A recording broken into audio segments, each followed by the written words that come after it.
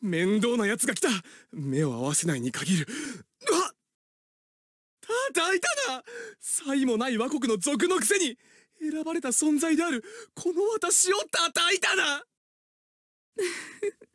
紹介かわいい目で見てくること。お話をするときは目を見なくては失礼ですよ。年長者は敬わなくては。私のことは尊敬とともに綾様と呼んでください。は年長者旧型を敬うなどくだらぬ理念に縛られずさえあるうはっ！頬の肉がこわばっていたようですね。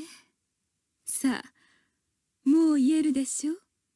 かわいい紹介英才の誉れ高いかわいい紹介この世に足りぬものは何ですか？愛と気概にございます。綾様。この正直愛をもって綾様にお仕えします。よくできましたね。かわいい紹介 教育が良いだけあって飲み込みが早いこと